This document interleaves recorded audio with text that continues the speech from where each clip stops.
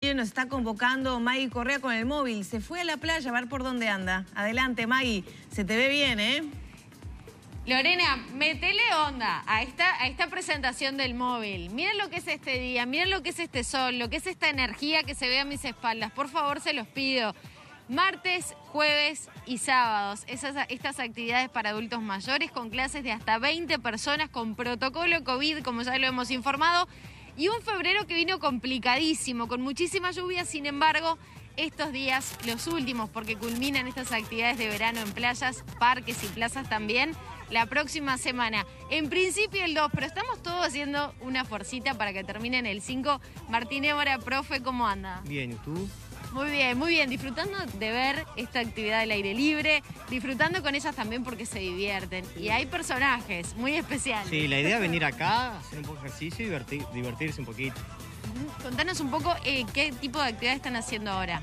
Y ahora están haciendo con la profe, hicieron la entrada en calor y ahora ya están empezando a hacer un poco más de, fuerza de pierna y coordinación.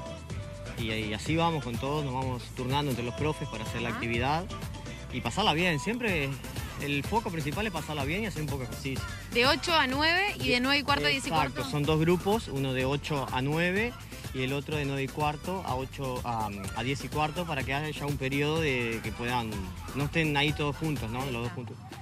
Voy a hacer una pregunta en voz alta para que me escuchen. ¿Cuál es el mejor grupo, el de las 8 o el de las 9 y cuarto? Acá me dicen el de las 9 y cuarto. Era Norma, ¿no? Norma, ¿cómo anda usted? Bien, pero yo la veo espléndida. Estoy marchando como puedo, mi ¿Qué edad tiene usted, mi querida? Ya estamos con la edad. ¡Qué negocio! 82. Qué, qué, placer verla hacer toda esta actividad física. Y algo hay que hacer, mi amor, ¿qué vamos a hacer? ¿Cómo pasó febrero con tanta lluvia, sin poder venir? Y bueno, alguna cosita se hace siempre. Bueno, a ver, ¿qué ejercicio están haciendo ahora? Cuénteme. ¿De acá? Sí, a ver, muéstrame. Yo quiero probar a ver si puedo llegar a los 82 como usted. Esta otra me está sacando fotos. no, la está filmando, porque estamos saliendo en vivo arriba gente. ¿Cuestan mucho estos ejercicios? No. No, más o menos. Lo que se, lo que se nota. Divina, Norma. Con esfuerzo no, hago hasta donde puedo tranquila, ¿viste? Muy bien, me encanta y la felicito por esa voluntad de venir y de disfrutar. Es una necesidad, mi amor. Muchas gracias. ¿Viene acá cerquita? Sí, vivo ahí arriba en Maldonado de Durazno. O sea que viene caminando. No, tengo un autito. Ah, muy bien, muy bien, me encanta. La vida me cuesta. Gracias, Norma. Yo pregunto una cosa, la música, ¿qué pasó?